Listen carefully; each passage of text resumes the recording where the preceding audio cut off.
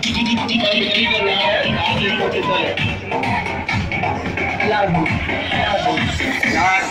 की धार से गोलियों की बुछार से